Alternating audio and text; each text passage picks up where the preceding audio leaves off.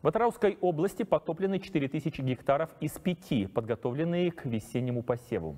С 10 мая паводковые, паводковые воды, проникшие на территорию Махамбетского района, смыли земельные участки 55 хозяйств. Ранее фермеры высадили скороспелые овощ, овощ, овощные культуры на 85 гектарах и планировали собрать урожай уже в конце этого месяца. Однако уже сейчас ясно, что труд был напрасным. Объем паводка четко виден с высоты. Русло реки повысилось настолько, что вода занимает десятки километров. Паводковые воды затопили 13 гектаров, которые аграрии засадили еще в начале апреля. Засеяли 7 гектаров земли, помидоры уже цвели. Они созрели бы уже к июню. Капуста должна была созреть в конце мая. Все они оказались под водой примерно неделю назад.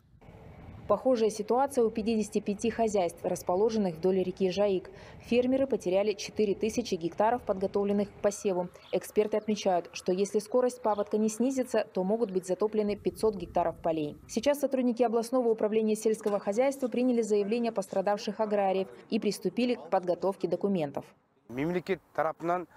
17 мая государство утвердило положение о возмещении убытков, причиненных в связи с чрезвычайной ситуацией природного характера в сфере сельского хозяйства. В настоящее время заявки пострадавших фермеров принимаются в соответствии с правилами. Далее документы будут проверены и рассмотрены комиссией. Пострадавшим хозяйствам возместят ущерб. В этом году по Атырауской области должны были освоить почти 11 гектаров посевных площадей. Почти половину из них затопило.